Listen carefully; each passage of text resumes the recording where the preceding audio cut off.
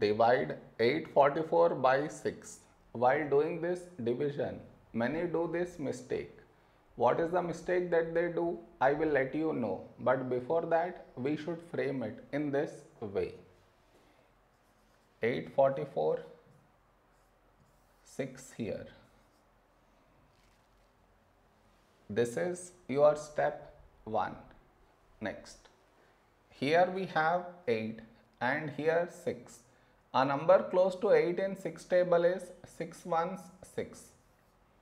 Now we should subtract. We get 2. After this, bring down the beside number. So 4 down. 24. When do we get 24 in 6 table? 6 fours 24. Now we subtract, we get 0. After this, bring down the beside number. So 4 down. After this step, the mistake happens and the mistake is this. Here we have 4 and here 6. 4 is smaller than 6. So what many do is they directly put dot take 0 which is wrong.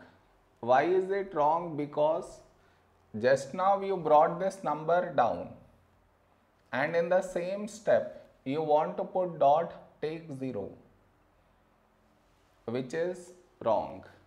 I repeat bring down the number and also put dot take 0 bring down the number and put dot take 0 both at the same step you should not do. Instead of that what you should think of doing is which number should we take here? If I take 1 we will get 6 but 6 is larger than 4 so what we do is we take 0 so 6 into 0 0 now we subtract we get 4 over here we did not bring any number down and 4 is smaller than 6 so now we can put dot and take 0. So 40. A number close to 40 in 6 table is 6636. Now we subtract. We got 4 again. That means we get bar on this number. Did you understand where does the mistake happens?